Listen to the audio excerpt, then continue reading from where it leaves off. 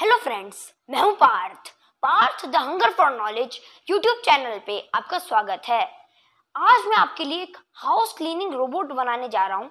ये सभी उसके कंपोनेंट्स हैं, पर फ्रेंड्स हमने एक वीडियो में एक रोबोट बनाया था, जो मूव कर सकता था और अपने हेड को 360 डिग्री एंगल पे रोटेट कर सकता था।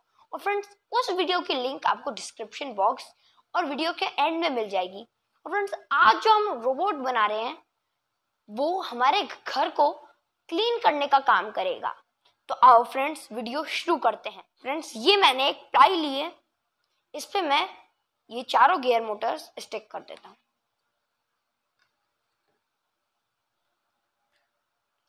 फ्रेंड्स, हमने इसके चारों मोटर्स तो चिपका दिए।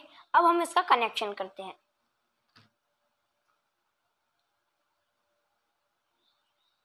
फ्रेंड्स, हम रेड के सारे वायर एक साथ चिपका दे, चिपका देते हैं और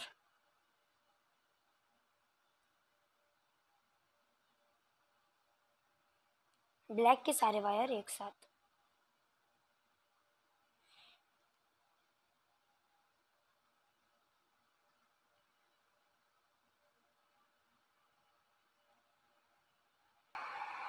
फ्रेंड्स हमने कनेक्शन तो कर दिया है और हमने टू वायर्स दोनों से कनेक्ट करके यहाँ पे खोल करके यहाँ से निकाल लिए अब हम एक बार इसे टेस्ट करते हैं। और फ्रेंड्स ये बहुत अच्छे से वर्क कर रहा है। तो आओ फ्रेंड्स अब हम इसके लेग्स लगाते हैं। फ्रेंड्स हमने इसके लेग्स तो कनेक्ट कर दिए हैं। अब हम इसकी चिप को यहाँ पे स्टिक कर देंगे। मैं इसकी बैटरी को यहाँ पे स्टिक कर दूँगा, इसकी चिप को यहाँ पे और इसके एंटीने को यहाँ पे स्टिक कर दूँगा। फ्रेंड्स हमने इसकी चिप तो कनेक्ट कर ली है, अब हम चिप्स के वायर वायर्स को इसके वायर से कनेक्ट कर देते हैं। फ्रेंड्स मैं इसके ब्लू वायर को इसके रेड वायर से कनेक्ट कर रहा हूँ।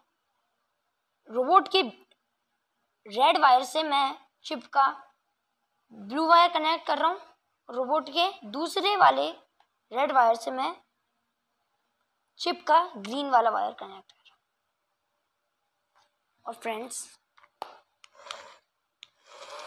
फ्रेंड्स, अभी ये रिमोट कंट्रोल हो रहा है, रिमोट। फ्रेंड्स, अब हम, हमारे रोबोट का अपर पार्ट स्टिक कर देते हैं। फ्रेंड्स ये एक लाइटिंग बोर्ड है। मैं इसे यहाँ पे स्टिक कर रहा हूँ। फ्रेंड्स ये ऑप्शनल है। अगर आपको नहीं लगाना तो आप नहीं लगा सकते हैं। फ्रेंड्स हमने इसका लाइट बोर्ड तो स्टिक कर दिया है। अब हम इसके ऊपर रोबोट का फेस स्टिक कर देते हैं। हमारा रोबोट तो पूरा कंप्लीट हो गया है। अब हम इसके आगे एक कार्डबोर्ड का पीस मैंने कार्डबोर्ड का पीस लिया था। यहाँ पे स्टिक कर देता हूँ इस कार्डबोर्ड के पीस को। फ्रेंड्स ये मैंने एक क्लोथ लिया था और उसे कट करके यहाँ पे स्टिक कर दिया।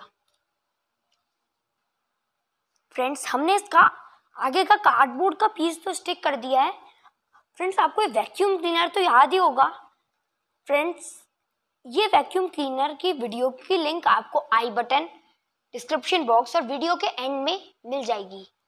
और फ्रेंड्स अब हम इस वैक्यूम क्लीनर को यहाँ पे स्टिक कर लेंगे।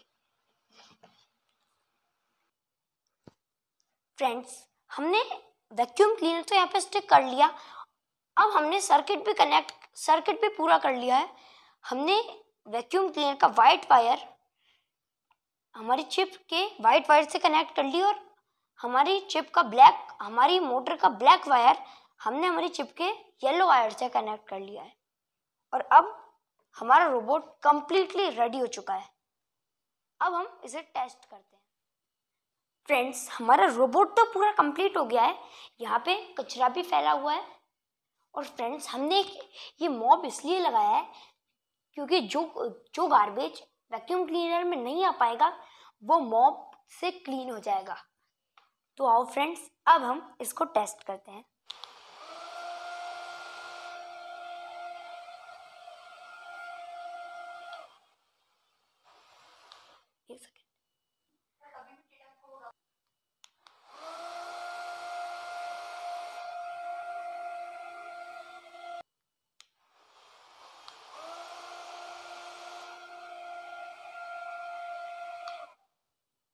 फ्रेंड हम फ्रेंड्स हमारे रोबोट ने हमारे रूम रूम को क्लीन कर दिया है और वो गार सारा गार्बेज हमारे रोबोट के वैक्यूम क्लीनर के अंदर स्टोर हो चुका है।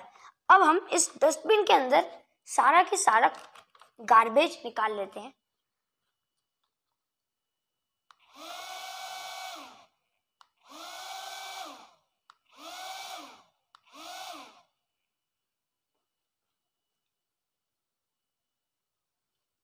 फ्रेंड्स देखिए कि सारा कचरा, सारा गार्बेज यहाँ, हमारे डस्टबिन के अंदर आ चुका है। फ्रेंड्स हमारे रोबोट के यहाँ पे लाइटिंग्स भी लगी है।